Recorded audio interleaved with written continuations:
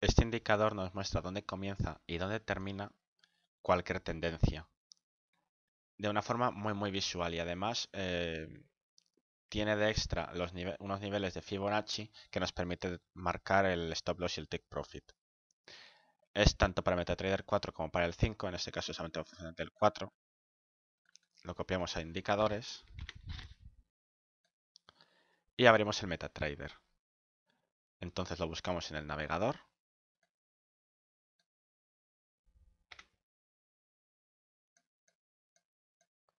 y lo cargamos sobre la gráfica. Bien, ¿qué significan estos valores?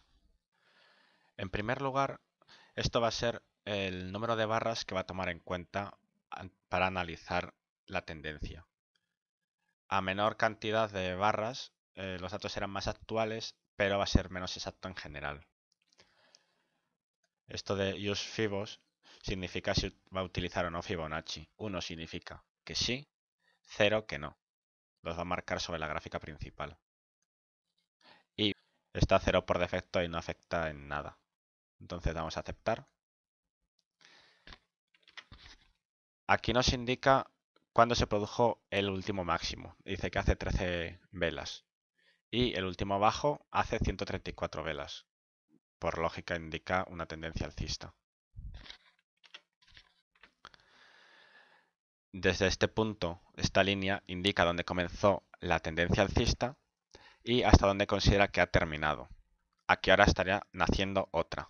Puede ser tanto alcista como bajista.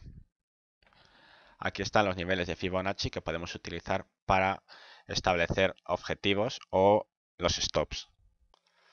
¿Cómo utilizar este indicador?